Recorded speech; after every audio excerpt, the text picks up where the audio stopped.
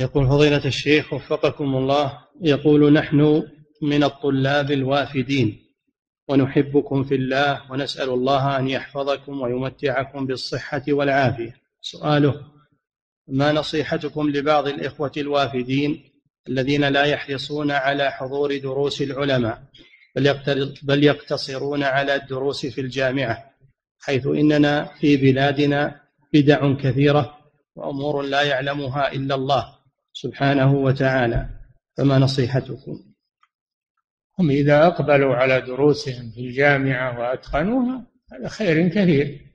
ولكن كونهم يضيفون إليه حضور دروس المشايخ هذه زيادة خير. والناس تختلف ظروفهم واستعداد ربما يكون ما عندهم استطاعة لحضور دروس المشايخ بل يتفرغون لدروس آه، النظامية.